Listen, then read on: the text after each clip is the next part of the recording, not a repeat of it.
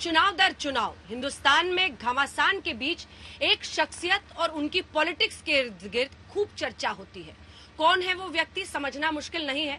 जी हाँ असदुद्दीन ओवैसी, बिहार की धमक के बाद पश्चिम बंगाल में चुनावी एंट्री पर जितनी चर्चाएँ हो रही हैं या फिर लगातार होती रही हैं, उसमें चौथे दौर के मतदान के बाद परिस्थितियाँ क्या है और क्या उनकी नज़र में है? बंगाल में क्या हासिल करना चाहते हैं?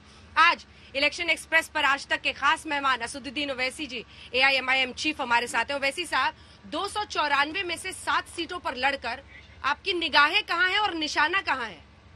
नहीं छह सीट पर लड़ रहा हूँ तो ऐसा नहीं कहीं पे निगाहें कहीं पे निशाना। निशाना हमारे सात सीट पर ही है और शुरुआत है और हमको यकीन है कि बंगाल में हमारे लिए हमारी पार्टी के लिए एक बहुत बड़ा स्पेस है यहाँ पर बहुत बड़ा वैक्यूम पैदा होने वाला है। और इसीलिए हमको लगता है कि हम लोग अभी से तैयारी कर रहे हैं और जहाँ जहाँ हम जा रहे हैं अपनी पार्टी को स्ट्रेंथन कर रहे हैं।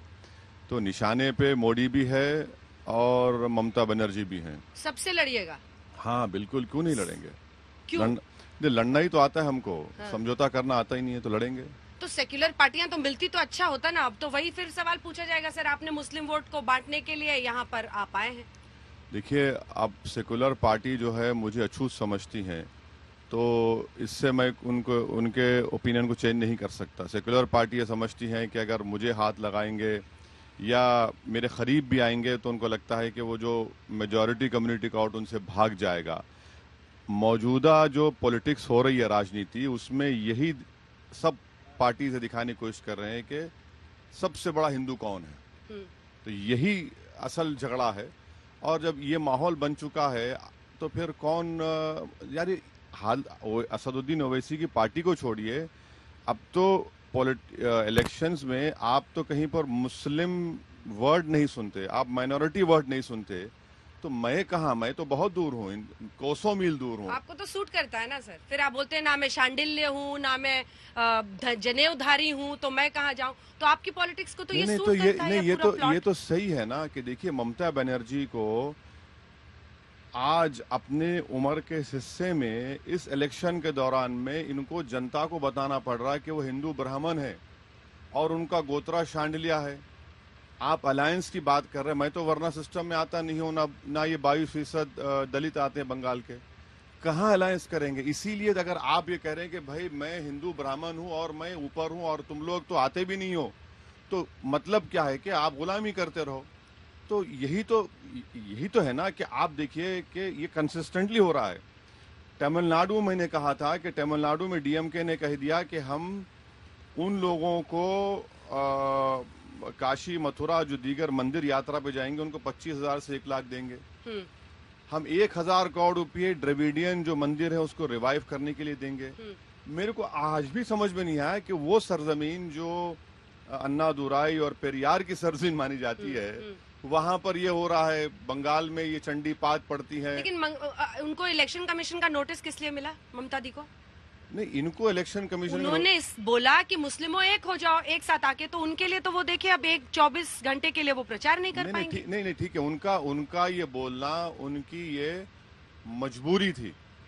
उनको ये बोलना ज़रूरी था। वो मेरा ऑब्जेक्शन इस बात पर है कि ममता बनर्जी को बोलना चाहिए था कि भाई हिंदू ब्राह्मण भी एक हो जाए ये जिसका गोत्रा शांड लिया है वो भी एक हो जाए।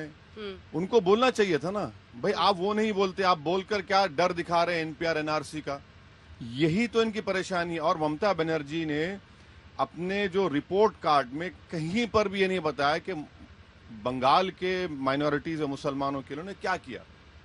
हम ये चैलेंज कर रहे हैं कि एम्पेरिकल डेटा इनका है जहाँ पर उन्होंने कुछ नहीं किया सिवाय इसके कि सिर्फ़ सर पे ओढ़नी ओढ़ लिए अल्लाह अकबर कह दिए। अरे तो भाई कलमा भी पढ़ रही है वो। अरे भाई हम क्या कोई नौटंकी कंपनी के मुलाजिम है कि आप एक्टर को देखकर थालियाँ मारते रहेंगे?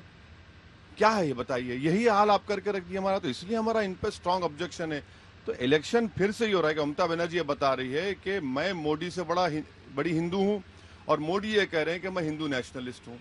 तो अब आप बताइए अगर ये ऐसा ही चलता रहेगा ना भारत में तो एक एक दिन ज़रूर आएगा इस मुल्क में जब इसराइल की तरह यहाँ पर हर पार्टी सिर्फ़ मेजोरिटी कम्युनिटी के वोट्स के लिए लड़ती रहेगी। ओवैसी जी भी तो इसी लोकतंत्र का हिस्सा है ना। आप लड़ रहे हैं ना? हम- आप कौन सी सीटों पर लड़ रहे हैं सर? देखिए हम उन सीटों पर लड़ रहे हैं जहाँ पर आसनसोल बताइए आपका इशारा किस तरह समझ गया मैं आप ये बताना चाह रही हैं कि भाई मुर्शिदाबाद से मालदा में जहाँ पिछहत्तर फ़ीसदी मुस्लिम है पैंसठ फ़ीसदी मुस्लिम गलत है। गलत है। ये आपको आपको गलत कह रहे हैं। डेमोग्राफी मुर्शिदाबाद में लड़ रहे हैं मालदा में लड़ रहे हैं आसनसोल में लड़ रहे हैं उत्तर दिनाजपुर में लड़ रहे हैं।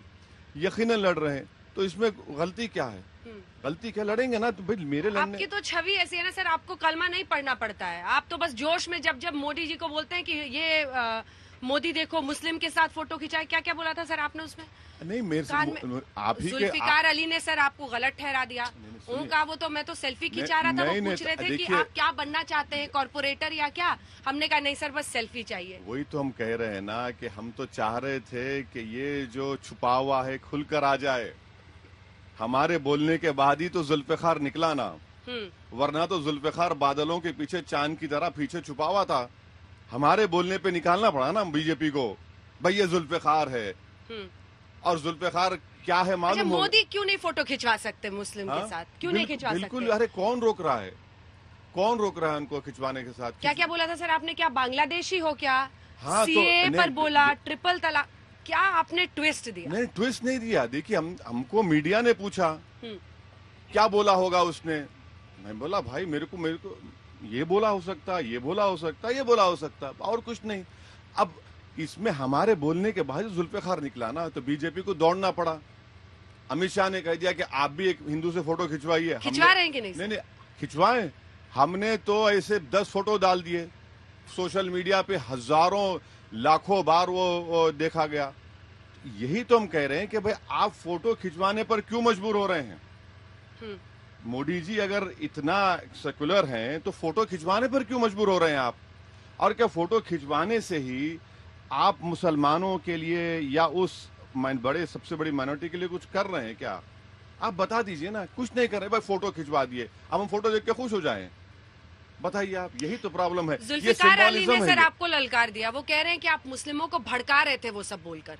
आपने उस फ़ोटो को ज़रिया बनाया और आप मुस्लिमों को भड़का रहे थे कि देखो वो तो ये बोल रहा था वो बोल रहा था ये पूछ रहे थे उसके कान में नहीं बोल रहे थे। नहीं नहीं अच्छा है। बांग्लादेशी हो नहीं क्या? नहीं मैं तो उम्मीद करूँगा कि आइंदा पार्लियामेंट इलेक्शन में उस नौजवान लड़के को मोदी जी गुजरात से टिकट दे दें।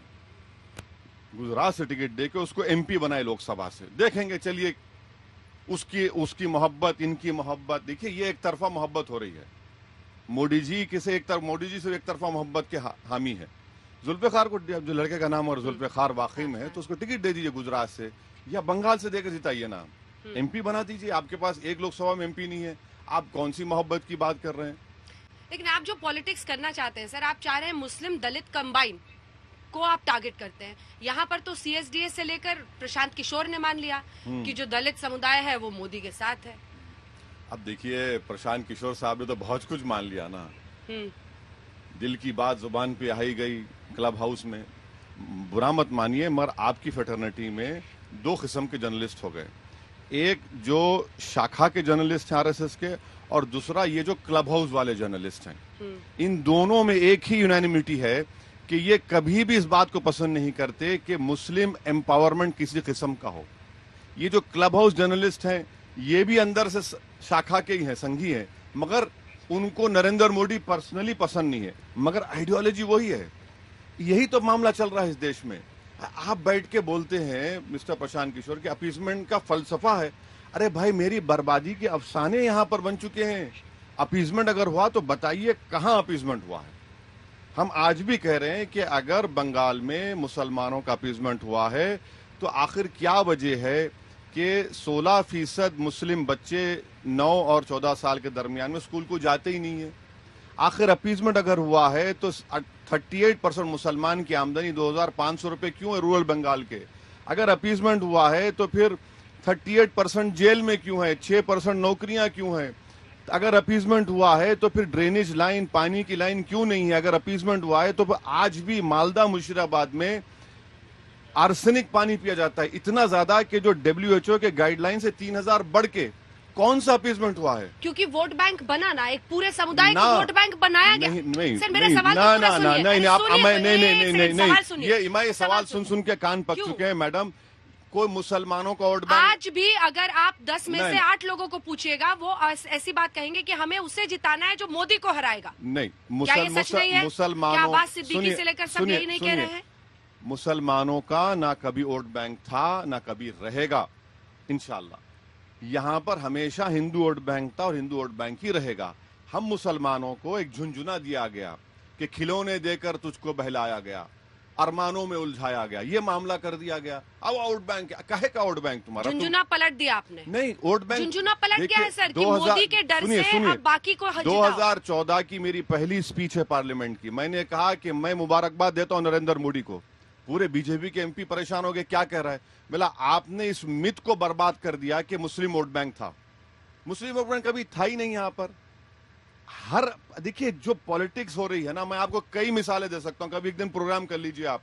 मैं आपको 1950 से लेके 2021 तक मिसालें दूँगा जहाँ पर हमेशा ये होता रहा है। तो आप कह रहे हैं कि मुस्लिम्स बीजेपी को भी वोट देते हैं? नहीं सीएसडीएस के डेटे में उसमें बताया गया कि हाँ। 2014 में और 2019 में एक ही कम्युनिटी है, जो जिसका वोट बीजेपी को मिला बड़ा नहीं। छह या आठ परसेंट वोट मिला बीजेपी को सीएसडी डेटा के। मगर दूसरे कम्युनिटी का सब बढ़ गया मोदी को वोट। हम ही तो एक खड़े हुए ना, एक एक पहाड़ की तरह, बाकी सब तो फिसल गए मोदी की तरफ़। एक ही कम्युनिटी आप सीएसडीएस के डेटा की बात कर रहे हैं। थर्टी वन परसेंट वोट था मोदी का हिंदू वोट, चौदह में, अब थर्टी सेवन परसेंट हो गया। उनको तो- लगता है ना अपीजमेंट पॉलिटिक्स से ऐसे ही निकलेंगे। आप हम यही कहते हैं कि ना सबका साथ सबका विकास सबका विश्वास। हम प्रतीकात्मक पॉलिटिक्स नहीं सब बकवास है सबका साथ सबका विकास सबका विश्वास की आप बात कर रहे हैं तो एक ही बात कर रहा हूँ। आपके पास मुसलमान एमपी क्यों नहीं जीता लोकसभा में? आप मुसलमानों को डिमांड ड्रिवन स्कॉलरशिप क्यों नहीं देते आप? मैं दूसरे इश्यूज़ की बात ही नहीं कर रहा हूँ।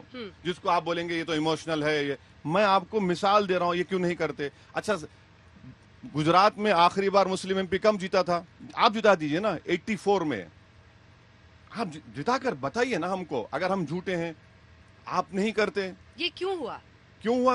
अब कांग्रेस भी आपको अछूत समझती है। आप कांग्रेस को देखिए और तमाम ऐसे राज्यों में देखिए। यहाँ पर देखिए उस वो अलायंस में आपके लिए जगह नहीं बनी। अब्बास सिद्दीकी के लिए बन गई। हम्म। जिनके आप अगर वीडियोस देखिएगा यूट्यूब पर तो आप भी हैरान रह जाएँगे महिलाओं के लिए वो कैसी बातें बोलते हैं कि एमपी बनाकर नुसरत जहाँ को भेजा था वो तो पाउडर मेकअप लगाने लगी। नहीं नहीं मैं मैं देखिए मैं मैं ना तो वीडियो देखा हूँ ना मैं मैं उनका स्पोक्स पर्सन हूँ। वो तो खुद अपना जवाब देंगे मगर अब अब कोई नहीं करना चाह रहा मुझसे alliance, तो मैं क्या करेंगे मैडम? हमसे नहीं किए बिहार में हम लड़े जीते। हम्म। अब ये एक बात बताइए गोधरा में क्या हुआ? हमने लड़ा और बीजेपी का मेयर बनने नहीं दिया वहाँ पर। मोडासा में हमारा मेन अपोजिशन हम है म्यूनसिपल कॉरपोरेशन में। यही तो हम बता रहे हैं कि और मैं बता रहा हूँ आपको कि ये जो नौजवानों में जो एक चर्निंग है वो अब इस तरह की सेकुलर ये सो कॉल्ड सेकुलर पॉलिटिक्स को मानने वाले नहीं है। लेकिन कहा यह जाता है कि गोधरा में तो आपकी वजह से मेयर नहीं बन पाया बीजेपी का। हाँ। लेकिन बिहार में एनडीए की सरकार बन गई आपकी देखिए मैंने आपके प्रोग्राम पर ही ये बात कही थी कि 20 सीट हम लड़े पाँच हम जीते नौ गठबंधन जीता छह एनडीए जीता। अब मैं तो कई मरतबा आरजेडी के नेताओं से बात किया छह महीने पहले वो बोले हंस के मुस्कुरा दिए किसी ने नाराज़ हो गए। अब नहीं करते तो नहीं करें ना हम क्या करेंगे किसी ज़ोर ज़बरदस्ती कर सकते क्या? कि पॉलिटिकल करियर को समराइज करके एक सवाल जो मुझे समझ में आता है मैं सवाल भड़काऊ भाषण बोलेंगे आप। नहीं। मैं ये बोलूँगी कि प्रधानमंत्री नरेंद्र मोदी और आप कह रहे हैं कि हिंदू मेजोरिटेरियन पॉलिटिक्स अब इस देश में बीजेपी के साथ साथ तमाम पार्टियों में आ गया है। आप पर आप रोप लगता है कि आप माइनॉरिटी पॉलिटिक्स करते हैं। तीन लाइन तीन लाइन में आप समझाइए काउंटर कीजिए इस व्यू मैं क्योंकि- मैं मैं देखिए भारत के संविधान इंटरव्यू में आप अलग बात करते हैं। हैदराबाद में जब आप माइक थामकर उस चौराहे पे खड़े होते हैं और लोगों के बीच बोलते हैं तब आपके तेवर आपका लहजा सब कुछ अलग होता है। हम्म। वो हमेशा रहेगा ना आपके साथ और वो आपकी छवि को बनाता है। उसको कैसे काउंटर कीजिए नहीं तीन लाइन माइनॉरिटी पॉलिटिक्स नहीं देखिए भारत के संविधान को मज़बूत करना है। जमहूरियत में लोगों को और भरोसा दिलाना है तो असदुद्दीन ओवैसी ऐसा ही रहेगा। ऐसा ही रहेगा। बिल्कुल ऐसा रहेगा। मैं बदलने वाला नहीं हूँ। चाहे आंधी आए तूफ़ान आए धूप आए छांव आए जब तक मैं ज़िंदा रहूँगा ऐसा ही रहूँगा। ये ये मेरी ओरिजिनलिटी है मैं बदलूँगा नहीं। हम्म। क्योंकि मुझे यकीन है कि इसी तरह रहने से ही मैं यहाँ तक आया और आगे भी जाऊँगा तो ये तो अड़चन बन जाएगा ना दो तक अरे लड़ाई को- तक। कोई कोई फ़िक्र की बात नहीं है एक एक वक्त तो आएगा ना मैडम। जब सब एक हो जाएँगे। आएगा। नहीं नहीं सुनिए आप मेरा मैं जुमला खत्म कर दीजिए। हाँ, ये हाँ, जुमला हाँ, नहीं है अमित शाह की तरह। जब सब एक हो जाएँगे तो लोगों को देगा भाई को, सब काले में है सफ़ेद में तो एक ही नज़र आ रहा है। वो वक्त आएगा। अब तो सब काला होना चाह रहे हैं। अपना आपने सफ़ेद कर लिया। नहीं नहीं सब अपना। नहीं एक एक मेटाफोर की तरह समझा रहा मेटाफोर की तरह। हाँ। लेकिन आप अल्टीमेटली वो इमेज तो आपकी वो है ना अरे कोई बात नहीं मैडम देखिए मैं कोई फ़िल्म स्टार नहीं हूँ ना मैं अंजना ओम कश्यप तरह एंकर हूँ कि मुझे अपना इमेज चेंज करना है। मुझे कोई फ़िक्र नहीं है। मेरा जो इमेज है ये ओरिजिनलिटी है बदलेगी नहीं। ये ओरिजिनल है। देखिए ना ना तो मैं अप, अ, ये बदलूँगा ना वो बदल, क्यों बदलना चाहिए? आप अगर आपको करेज ऑफ़ कन्विक्शन है तो उस पर बरकरार रहिए ना। वरना तो कल बोलेंगे ये चेंज करो वो चेंज मुझे चेंज करना क्या भाई हम पॉलिटिक्स में है संविधान के दायरे में रहकर काम करें और करना भी चाहिए। टोपी भी पहनेंगे और हिंदू मुस्लिम सबके साथ फ़ोटो डालेंगे। बिल्कुल डालेंगे। मुझे देखिए मुझे किसी भी हिंदू भाई से तकलीफ़ थी ना है ना कभी रहेगी। मेरा मुकाबला उन लोगों से है जो अपने आप को जनियोधारू कहते हैं जो अपने आप को कहते हैं कि हम बड़े हैं आप छोटे हैं जो हिंदुत्वा की आइडियोलॉजी को इस देश के संविधान पर मुसल्लत करना चाहते हैं। मेरा उनसे मुकाबला रहा है। लेकिन उस मेजोरिटी को मौजूदा पार्टियों ने कन्विंस कर दिया है ना सर कि आपने माइनॉरिटी अपीजमेंट की वजह से हमारी अनदेखी की। वक्तिया तौर पर आपने कन्विंस किया है मगर आप देखेंगे कि ये मैजिक शो है। हम जब स्कूल में थे तो मैजिक शो होता था। एक मैजिशियन आकर अपनी टोपी से खरगोश कभी अपने हाथ से वो फूल निकाल कर किसी को देता था। ये मैजिक शो खत्म होगा। जब खत्म होगा जब रियलाइज़ करेंगे भाई साहब ये ये तो तबाह बर्बाद हो गया। मैजिक शो खत्म होने वाला है। मैजिक शो दिन नहीं चलता मैडम। मैजिक शो नहीं चलता। ये पीसी सरकार की सरजमीन है ना। मैजिशियन है खत्म हो जाएगा। अब मैजिक शो चल रहा है। देश मुतासिर है मैजिशियन आ गया है। देखिए बोल रहे एक दिन मैजिक शो खत्म होगा। बहुत बहुत धन्यवाद आपका ओवैसी जी हमारे साथ आज तक पर आने के लिए तमाम बातें करने बुलाने के लिए। तो ओवैसी जी ये कहते हुए कि यही अ, उनका जो तरीका है इसी के साथ वो आगे बढ़ेंगे और राजनीति में एक दिन वो भी आएगा जब छह से लेकर दो सौ चौरानवे तक का सफ़र वो पूरा करेंगे। देश दुनिया की बाकी खबरों के लिए आप देखते रहिए आज तक।